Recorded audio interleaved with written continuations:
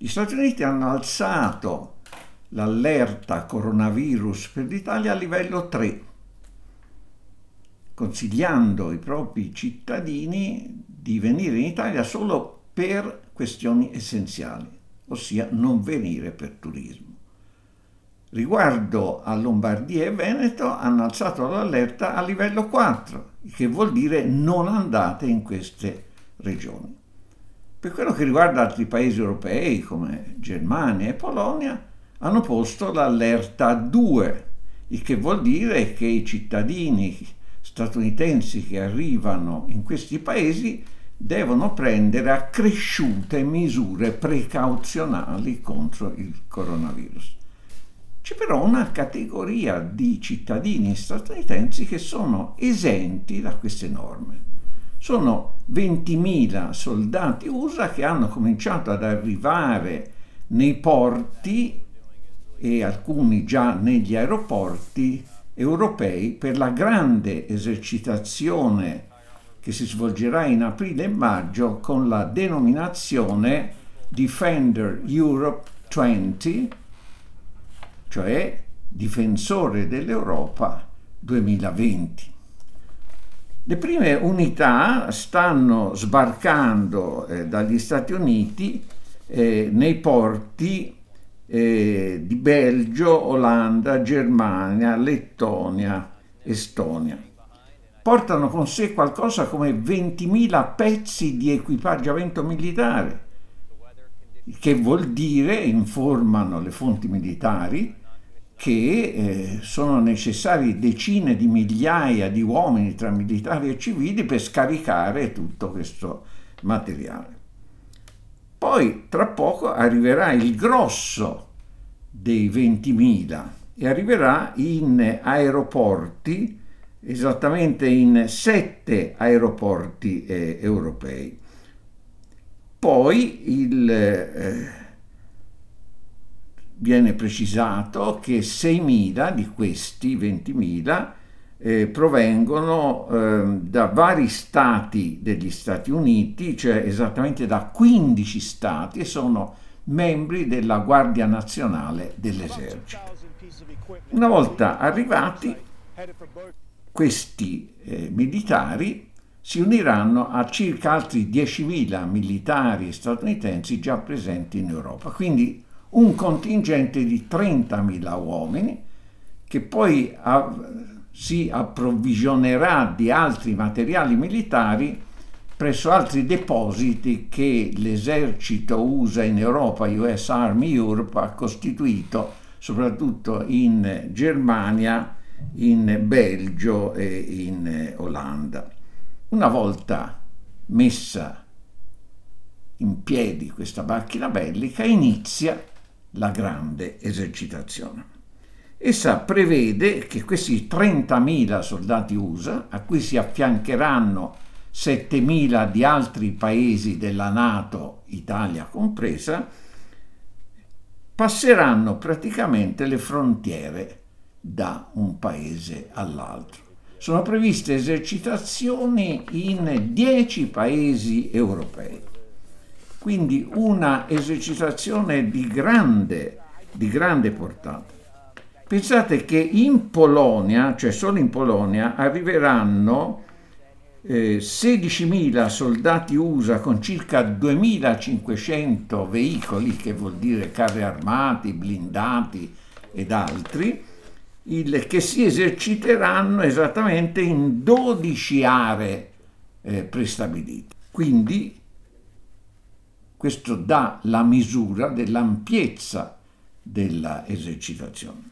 Ad esempio, paracadutisti della 173 Brigata Aviotrasportata USA di stanza in Veneto, ricordiamo zona quindi a livello 4 come Wuhan, secondo Washington, andranno nelle repubbliche baltiche, in particolare in Lettonia, per un'esercitazione congiunta insieme a paracadutisti della Folgore provenienti dalla Toscana. Il comando informa che l'Unione Europea oltre la Nato, ha collaborato con il Comando europeo degli Stati Uniti per migliorare le infrastrutture europee, cioè in modo da far sì che eh, unità eh, corazzate, convogli, si possano spostare rapidamente attraverso le frontiere da un paese eh, all'altro. E quindi abbiamo anche la piena collaborazione e naturalmente i soldi dell'Unione Europea, ossia i nostri soldi, che vengono spesi in questa esercitazione. Ora, dato che questa esercitazione prevede un rapido trasferimento di forze militari dagli Stati Uniti in Europa per fronteggiare una minaccia, si dice, quale minaccia?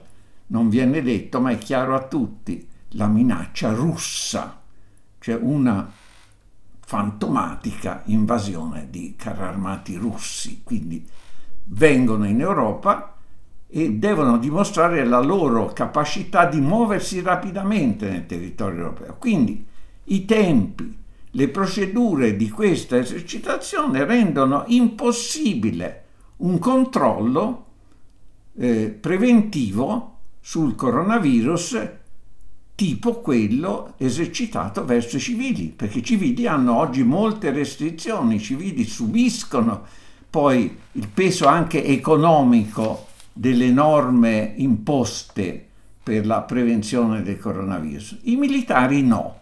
Quindi fra eh, 30.000 eh, statunitensi e 7.000 di altri paesi NATO avremo 37.000 uomini che passeranno tranquillamente frontiere eccetera e non ci sarà nessuno a provargli a, eh, la temperatura o a fargli il tampone. Bene, cosa fanno le autorità europee? Cosa fa l'Organizzazione Mondiale della Sanità? Praticamente niente. Anzi, si fidano di quello che dice l'esercito statunitense in Europa. L'esercito statunitense in Europa assicura che sta attentamente monitorando la diffusione del coronavirus in Europa e eh, assicura che le truppe statunitensi sono in buona salute. Va bene, lo dicono loro. Nessun controllo però. E questo è un aspetto. L'altro aspetto che viene completamente tasciuto è quello dell'impatto ambientale di una esercitazione di questa portata. Cioè nel momento in cui ci sono manifestazioni giustamente per evitare emissioni inquinanti, eccetera, bene, si ignora l'impatto ambientale di un'esercitazione con migliaia di mezzi militari eh, ad alto inquinamento. Facciamo un esempio, un carro armato Abrams del tipo di quelli che arrivano ora in Europa dagli Stati Uniti per circolare sulle strade europee pesa circa 70 tonnellate, 70 tonnellate ed ha un consumo di 400 litri di carburante per 100 km ad alto inquinamento perché deve ovviamente erogare la massima potenza. Ma di tutto questo non si parla. Quindi le autorità europee, le autorità quindi della UE, le autorità nazionali, comprese quelle italiane, le autorità internazionali dell'Organizzazione Mondiale della Sanità si mettono la mascherina per il coronavirus, solo che se la mettono non solo sulla bocca e sul naso, ma anche sugli occhi.